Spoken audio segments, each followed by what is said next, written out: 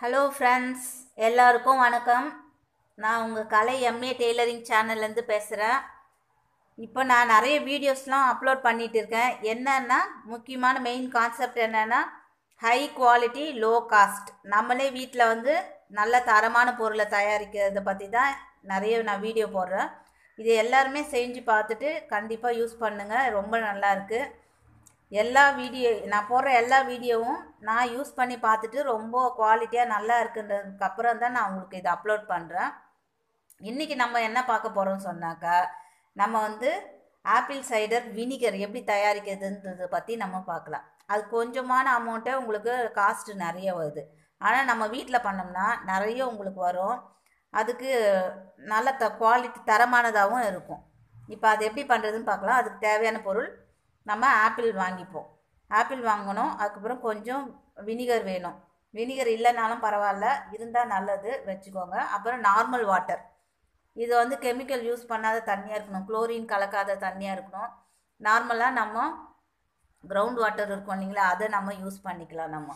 அப்புறம் முக்கியமாக நம்ம கண்ணாடி பாட்டிலில் தான் நம்ம வந்து இது இது பண்ணணும். இப்போ நம்ம க்ளீனிங் பர்பஸ் அப்படின்னா அது பிளாஸ்டிக்கில் நம்ம யூஸ் பண்ணி அந்த வினிகரை தயாரிக்கலாம்.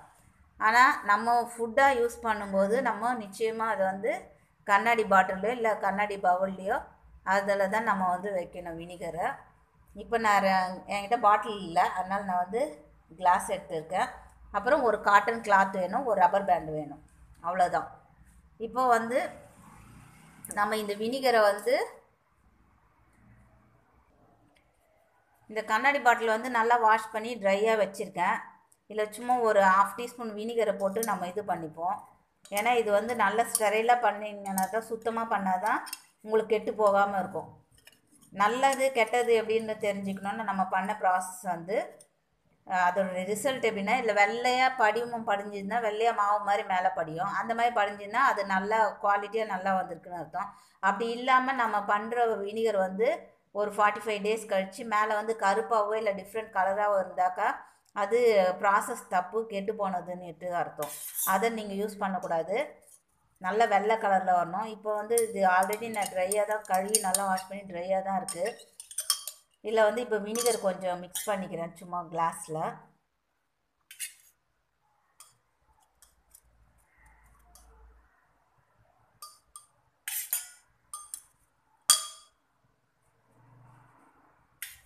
இது வினிகர் எடுத்து வச்சுருக்கேன் நம்ம வந்து கொஞ்சம் இது இது வினிகர் ஊற்றாமல் பண்ணோம்னா 90 டேஸ் கிட்ட ஆகும்.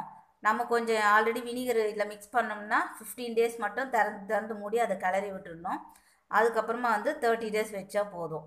அப்படி வினிகர் இல்லை அப்படின்னு சொன்னாக்கா நீங்கள் வந்து இது அந்த நம்ம போடுற இந்த ஆப்பிளோடைய துண்டுலாம் அந்த தண்ணியில் நல்லா உரி கீழே போய் படிஞ்சிச்சு நல்லா வாசனை வந்ததுன்னா அதுவே ஓகே ப்ராசஸ் ரெடின்னு அர்த்தம். இப்போ நம்ம எவ்வளோ ஆப்பிள் போடுறோமோ ஒரு பாத்திரத்தில். முக்கால் அளவு போடணும் பார்த்து எல்லாமே வந்து முக்கால் அளவு வரணும் கொஞ்சம் கேப் இருக்கணும் நமக்கு ஏர் இருக்கணும். அப்போ தான் வந்து அது நல்லது. நம்ம கிளறி ஒன்று டெய்லி தந் திறந்தது ஒரு ஃபிஃப்டீன் டேஸ் மட்டும் க நம்ம அந்த துணியை எடுத்துகிட்டு நல்லா கலரி கலரி விடணும்.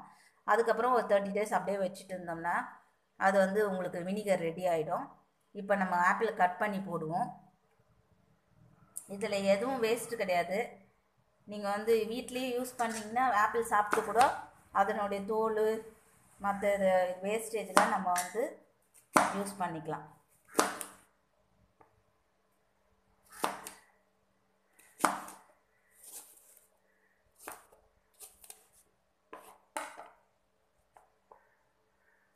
நம்ம எவ்வளோ ஆப்பிள் போடுறோமோ அந்த ஆப்பிளுக்கு மேலே தண்ணி வந்து எக்ஸ்ட்ராவாக இருக்கணும்.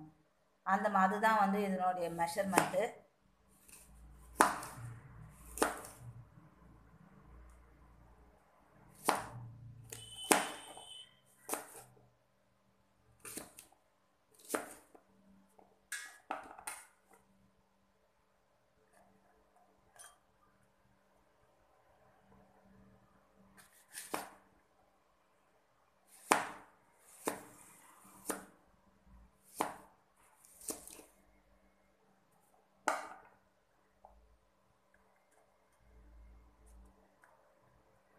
இது கண்ணாடி டம்ளர் சின்னதாக இருக்கிறதுனால இது மீடியம் சைஸு சின்ன ஆப்பிள் தான் பெருசு இல்லை. அதுவே உங்களுக்கு முக்கால வந்துச்சு இந்த அளவு போதும். இதை ஸ்டாப் பண்ணிப்போம். அதே மாதிரி இதில் போட்டுப்போம். பாருங்க ரெண்டுத்தையும் ஃபில் பண்ணியிருக்கேன். இப்போ வந்து இதில் வந்து நம்ம இந்த வினிகரை கொஞ்சம் ஊற்றிப்போம் அப்போ தான் ஃபாஸ்ட்டாக உங்களுக்கு வந்து இதில் வந்து அந்த இது பயோ என்சைம் ரெடி ஆகும்.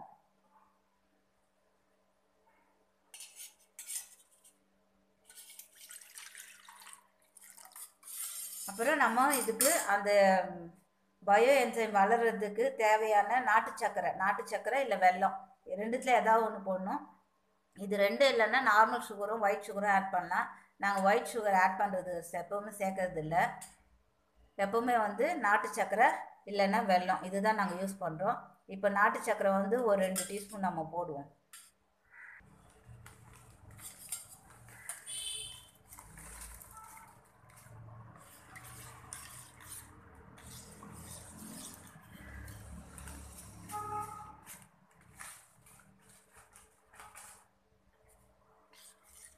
இதை வந்து நல்லா க கலக்கிட்டு நல்லா கரைஞ்சதுக்கப்புறம் நம்ம ரெண்டு டம்ளர்லேயும் ஊற்றிக்கலாம்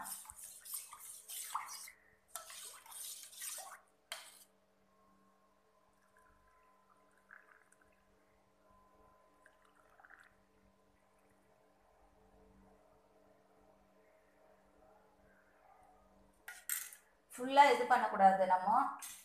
கம்மியாக தான் பண்ணிக்கணும். இப்போ வந்து நம்ம எடுத்து வச்சுருக்க காட்டன் கிளாத்து காட்டன் கிளாத் வந்து நம்ம இப்படி வச்சுட்டு